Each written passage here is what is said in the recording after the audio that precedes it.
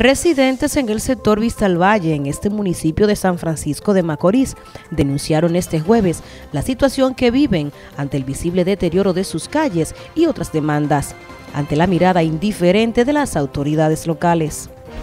lamentablemente la situación eh, cada vez más precaria, más preocupante, porque tenemos calles que por años han seguido intransitables en el sector de Luperón, segunda etapa, en los demás sectores, Salvador Ten y Manhattan y demás sectores. Entonces, las autoridades, llámese el ayuntamiento, la gobernación, pues nos han dejado esperando, así como estamos esperando también el mismo senador que él intervino cuando hicimos aquella actividad sobre Río Bijao para la construcción del puente, que ya escuché que el gobernador decía que estaba aprobado, pero no vemos que se inicie el trabajo.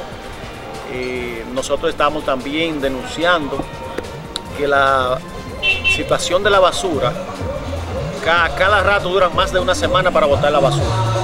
Viste Valle ayer, no sé si ya comenzaron a botarla hoy, más de una semana basura por doquier. Para NTN, su noticiero regional, Joanny Paulino.